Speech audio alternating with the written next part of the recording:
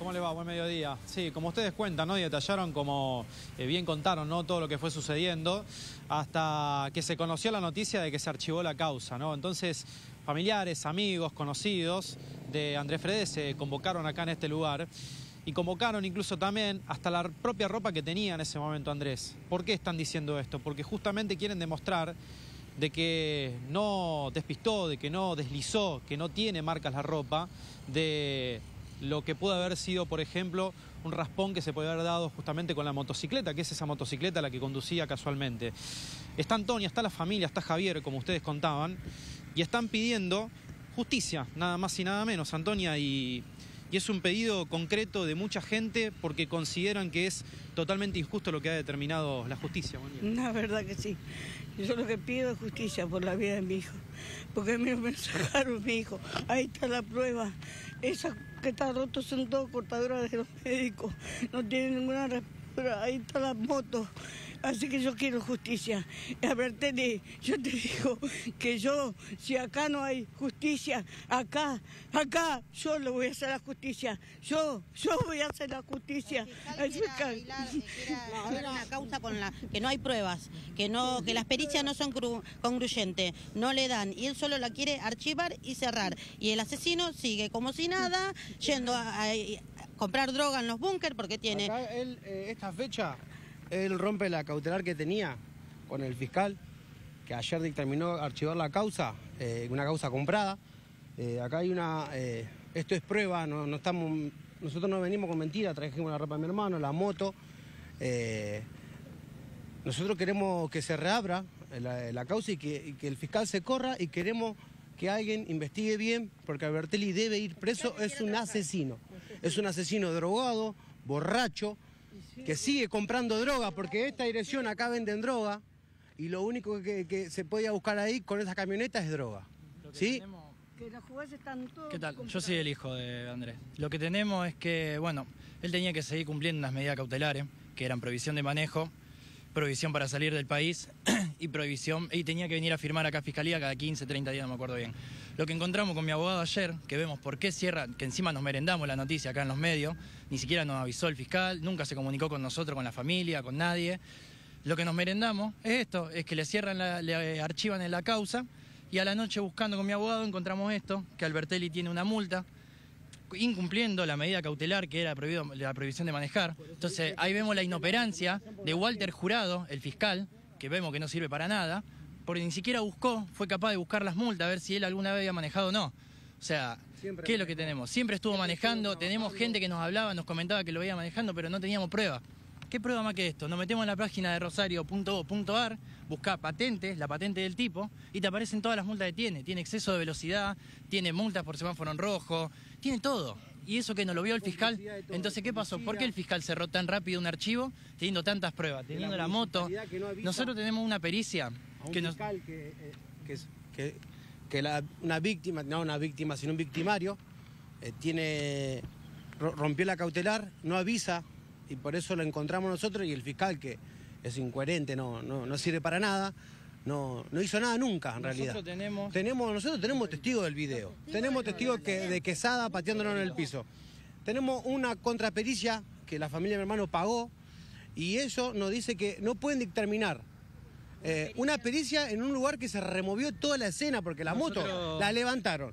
Mi hermano lo corrieron. Está bien, mi hermano no había fallecido en el acto, pero ellos tendrían que haber cerrado el túnel de entrada y de salida y hacer las pericias como se corresponde en cualquier accidente grave, porque mi hermano estaba grave, tenía todo el tórax roto. Mi hermano lo choca de costado, mi hermano no derrapa. O sea, yo quiero saber el testigo que dice que derrapa, quién es. Pero no para hacerle algo, sino por qué dice algo o que se inventaron este testigo. Porque ahí vos tenés la moto, yo te traigo la moto, no te estoy inventando ahí un filtro, no hay nada, que no tiene una raspadura la moto. Aparte mi hermano tiene un golpe en el tórax. Si él choca con el tórax es porque choca de frente no choca eh, tirado en el piso. Es algo que si el fiscal no sabe eso, no sé quién, dónde estudió, qué estudió. Por eso traen la ropa, digamos, ¿no? Por la ropa, traemos la moto. Nosotros pusimos un perito por nuestro lado, porque las pericias oficiales que tiraban no concluían con las pruebas que teníamos nosotros de la moto. Entonces, por nuestro lado pusimos nuestro perito, donde lo que dictamina es eso, que no se puede, no, se puede eh, determinar quién fue el causante del accidente. Entonces, ¿por qué ellos están diciendo que fue mi viejo? cuando el perito me está diciendo que no se puede eso porque todas las pruebas fueron removidas. Se hizo todo muy mal desde un principio. La realidad, como él ayer decía en la nota en Canal 5, tuvimos un abogado que nos representó muy mal al principio, que la verdad nos recagó, Martín Frasi, lo voy a decir acá en, en, Coso. cinco días, cinco mil dólares de la mano de Albertelli. Y aparte quiere cobrar cinco mil dólares más, que eso después lo vamos a arreglar con los abogados nuestros, se van a encargar de hablar con él.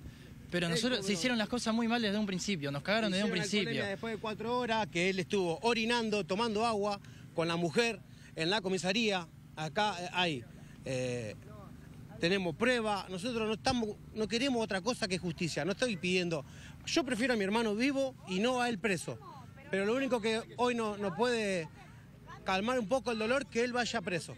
porque si no seguimos todos la misma. El fiscal, fiscal no lo queremos más porque la verdad no dimos cuenta de lo inoperante desde un principio que es Walter Jurado. Pasó por acá recién, agachó la cabeza, ni siquiera fue capaz de venir y decirme Marco, cerramos por esto, esto y esto. Ayer mis abogados cuando nos cerraron la, cuando archivaron la causa, y quisieron ir a buscarlo al fiscal, le golpearon la puerta toda la mañana, todo el mediodía y nunca se quiso asomar a atenderlo. ¿Por qué si no, si lo cerraste bien, por qué no salí y le da las pruebas de por qué lo cerraste? no se quiso asomar. Que un testigo clave, que es un testigo real que está, el video. Nunca lo llamaron a declarar a él. Tenemos dos testigos. ¿Por, qué no, ¿Por qué no lo llamaron a declarar a los testigos? Y no sabemos, por la inoperancia del coso, del fiscal. Ahí lo estamos, ahí queda todo en claro. un dinero, un sobre y cerró la causa, que es lo más simple hoy en día, agarra dinero y, cerrar una causa de una muerte de un, de un nene, una forma Tenemos de dos testigos clave, uno que lo ve a la chata de Albertelli, que lo ve desde la esquina, cuando lo choca mi viejo, volviendo al carril de él, veniendo en contramano y volviendo a su carril. O sea, ¿qué más prueba que eso querés? Tenés la moto que no tiene un rayón, tenés la ropa, permiso, tenés la ropa que no está raspada y dicen que derrapó. Si vos tenés una moto raspada, tiene toda raspada el tanque, tiene todo. Mi viejo tendría raspadura por todo lado. Sigue conduciendo drogado. Sigue conduciendo. Esto es lo peor de todo. O sea, el tipo tiene una medida cautelar. ¿Dónde están los jueces, los fiscales, los abogados? ¿Dónde están todos? Teniendo una medida cautelar. La medida cautelar nos dijo el juez el primer día que tuvimos la audiencia, donde él incumple una de las medidas cautelares, tiene que ir preso. Mirá, acá la cumplió. ¿Qué más tenés? Lo tenés en la página de la municipalidad. Lo buscás y lo tenés acá. ¿Cómo van a seguir, digamos? Porque ahora estamos pidiendo que se, se saque el archivo que se vuelva a abrir el caso. se tiene que volver a abrir. Porque la verdad que ya no, no, no entendemos. El fiscal no nos avisó nada. Nosotros nos enteramos por los medios porque ustedes publicaron a la tarde. O sea, si no... No habían tenido una comunicación previa, digamos... Ni siquiera a los abogados le avisó. Los abogados también se desayunaron esto a la mañana. No, no, a nuestro abogado. También las penas de accidente de tránsito cuando alguien está alcoholizado y drogado. Porque no es un accidente, yo ya lo dije miles de veces. Él se subió, tiene un arma, mató con la camioneta, porque lo mató. Ellos consideran de que no fue causante, digamos, los efectos. De que si mi hermano lo choca, a, eso también. Dicen que si mi hermano lo choca, a él estar ebrio no influiría en el choque. O sea, vos podés manejar ebrio que si alguien viene y te choca y vos lo matás, eh, no pasa nada, como acá en Rosario. Si no, vamos a salir con una camioneta, vamos a chocar a todo el mundo. Es fácil. Yo quiero que le hagan hincapié a esto, o sea, que no lo dejen de mostrar, porque él sigue, y acá está en la cámara, te lo pongo. Búsquenlo, la gente que quiere esto en una calle que no tiene salida. Tiene que salir marcha atrás. Él entró con su camioneta a buscar droga. ¿Sí? Por algo lo pararon a, las 12 del mediodía. ¿Sí? Y más que esto, no, esto no es inventado, búsquenlo que están en la, Si vos buscás la patente, la municipalidad. todas las multas del tipo. O sea, tienen que buscarlo en internet y aparece. En, el río que la archivó como esta que quiere archivar, pero esta la vamos a abrir. Nos comunicó una familia que, hace 10 años él los chocó con la, con la moto, con la lancha, eh, perdón, con la moto de agua, los chocó en la lancha y los dejó ahogándose en el río. O sea, lo que nos contaba esa familia que se nos acercaba a nosotros en el hospital el día que mi viejo estaba ahí, eh, es impresionante. O sea, y el tipo, así como si nada, hoy anda en libertad, sigue chocando gente y hoy le tocó a mi viejo matarlo.